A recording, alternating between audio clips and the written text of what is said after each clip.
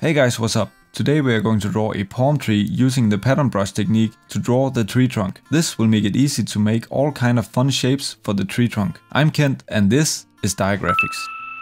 So the first thing we want to do is to enable the grid. So go to view, then go to show grid, then go to view again and snap to grid. Now we want to draw one of the sections of the tree trunk. So choose the pen tool and draw a shape like this. You can follow along with the squares. Now when the shape is completed, go to the selection tool and select the shape. Now we want to round off the corners a little bit. So to do this, go to the stroke menu and select round join. Then select a very wide stroke. And the wider the stroke you choose, the more round the corners will be. Now with the shape selected, go to object, go to path and select outline stroke. Then go down to Pathfinder menu if it isn't already open, you can go to Window and go to Pathfinder menu right here. Now go down to your Pathfinder menu and click Unite. This will unite everything into one shape. Now color this shape the main color you want for your tree trunk. I have prepared these swatches right here and I will choose the light brown. If you want my exact swatches, you can download them from the link in the description. There will also be a link to one of my videos showing you how to import these swatches. So this is one section of the tree trunk. But to make it a little more interesting, we will draw a shadow in the bottom. To do this, select the rectangle tool and draw a box like this. Now go to the selection tool and select both these shapes. The size of this box does not matter, we only use it to cut off this part of the shape. So now choose the shape builder tool, hold down the Alt key to subtract and subtract this part of the shape.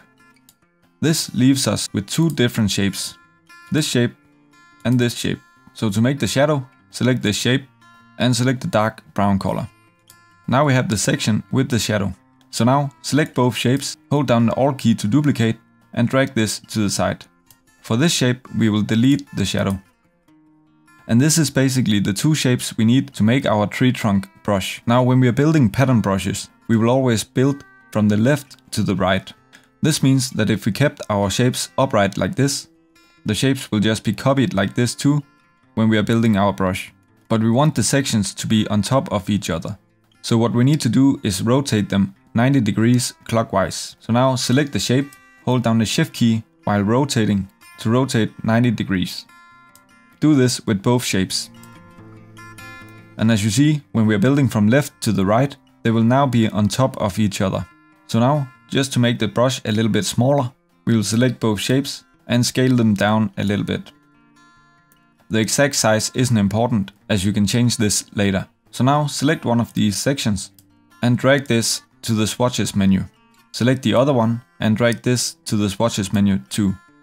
This is everything we need to build the brush. So now deselect the shape, go to the brushes menu, click new brush and select pattern brush. Click OK. From here you can give the brush a name. And as you see down here, this is where we are going to build our brush.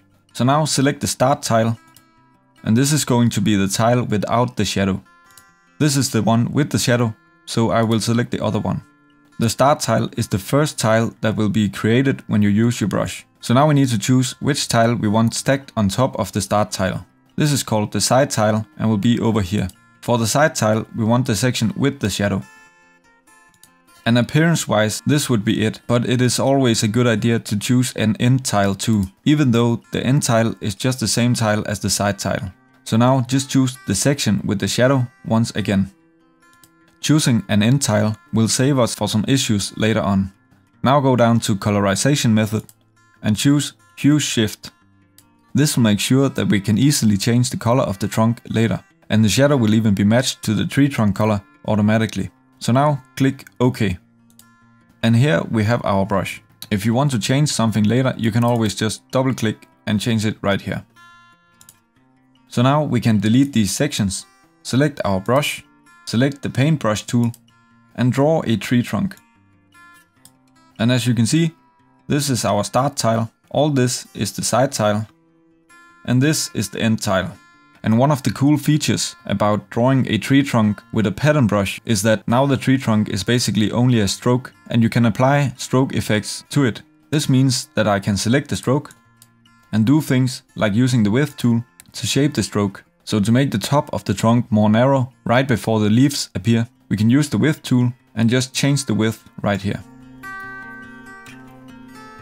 And you can play around with this exactly as you want. If we haven't picked an end tile, we would have some issues when narrowing the end of the tree trunk. Now we want to draw the leaves, so move the trunk to the side. So now choose the ellipse tool and draw a circle like this. Then go to edit, go to copy, then go to edit again and paste in front. Now we have two circles on top of each other. So while having the top circle selected, hold the Alt key and the Shift key and make this circle a lot bigger. Now with the arrow keys, notch this circle down like this. So it leaves a shape that is two small squares tall. Now select both the shapes, select the shape builder tool, hold down the Alt key to subtract, and subtract these shapes. Now select the shape and make it a fill instead of a stroke. Now we need to disable snap to grid. So go to view, go to snap to grid, then go to view again and hide grid. Now zoom in on the shape. You can color this leaf green already if you want, but for the sake of this video, I will start off by choosing a yellow swatch to make it easier for you to see what I'm doing in the next steps. So now it's easier to see the blue path around the leaf. Now choose the pen tool and to make the imperfections in the leaf, choose a spot and draw three anchor points like this. Then go a little bit to the right and do the same thing. Then once again, go to the right and draw three anchor points. You don't need to be precise right here. Now choose the direct selection tool and go to the middle of these three points and drag it up like this. Repeat this step for the other imperfections. To make it look realistic, don't screw the imperfections to the left, only to the right. Now with the three imperfections drawn, zoom out a little bit. Then unselect the shape by clicking away, then choose the pen tool again, and choose this anchor point right here. Draw on top of this. Then go to the right side and choose this anchor point right here. Then click and hold the mouse button to make a curvy line like this. Make sure it curves around the middle of the leaf. Then draw all the way around the leaf. Now choose the selection tool and select both the shapes. Then go to the shape builder tool. Hold down the Alt key to subtract and subtract the shape that we don't need. So now the leaf is ready and we need to color it. So choose the selection tool and select the inner part of the leaf. Go to swatches and choose a dark green. Now select the upper part and choose a light green. This will add some dimension to the leaf. Now we need to copy this leaf. So select both shapes, go to the rotate tool, hold down the Alt key and click this anchor point right here. Now rotate this leaf by 35 degrees. And click copy. And repeat this step by clicking Ctrl D. Now select all the shapes. Choose the reflect tool. And once again hold down the Alt key and click this anchor point right here.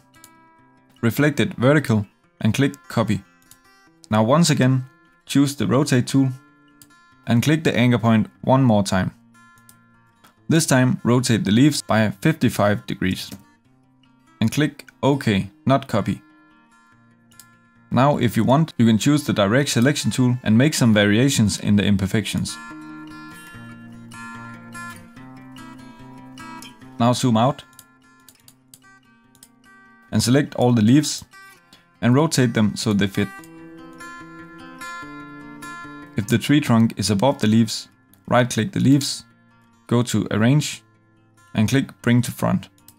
In this case it wasn't because I have drawn the leaves last. Now you can zoom in a little bit, go to the selection tool and adjust as you like. And to create some more dimension, make the sizes of the leaves vary. So select one of the leaves and shrink some of the leaves. Shrink from the opposite corner of where they are connected.